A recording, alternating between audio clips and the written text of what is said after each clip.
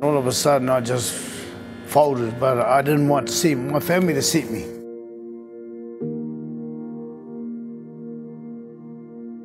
I felt embarrassed, shameless, uh, but hurt.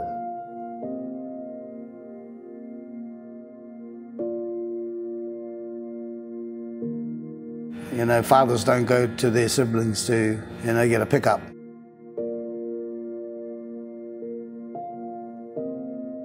It's been a rough trip, and there are some people out there in the system that care. I wouldn't wish this on anybody.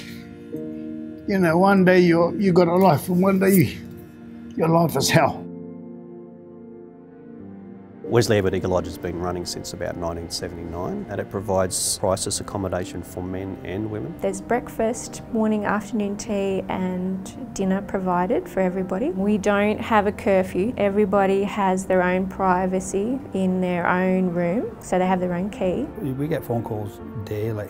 You know, there's people trying to get in here. Just took a phone call from a guy in prison wanting to book into Edward Eagar Lodge. You have to be there for them as well and, and, do it in the right manner. Not uncommon to meet people who have been rough sleeping for 10 years. You're inclined to put the average around five to six.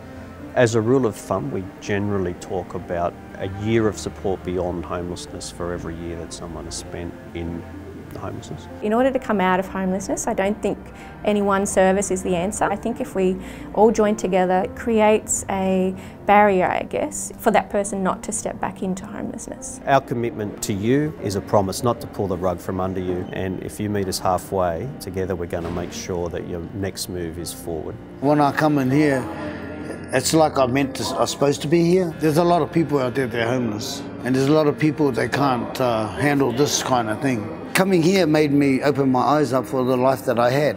I missed out on all my grandchildren and stuff like that. I see a bit of them, but I think I want to do it properly. Homelessness reaches everybody. So it's not a any one group. When you work in families, your typical family would be mum and the kids experiencing domestic family violence. A lot of the early intervention work we're doing through southeast Sydney is to do with families. A fair amount of rental arrears being paid to save tenancies, sometimes support with bonds for families to move into new tenancies. There is medium-term housing or transitional housing that we provide, you know, supporting people to find tenancies, advocating where we can with real estate agents. Homeless people are easily amongst the most vulnerable in our community. Such a big part of our work is holding onto that hope when people won't or can't. We need to believe that they can have a home of their own and a community in which they can belong.